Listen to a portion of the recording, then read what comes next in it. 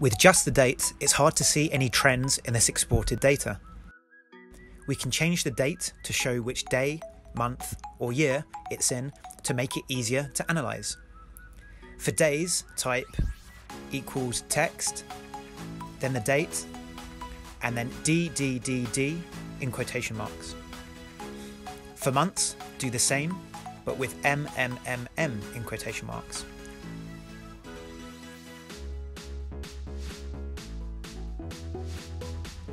For years, do the same again, but with YYYY in quotation marks.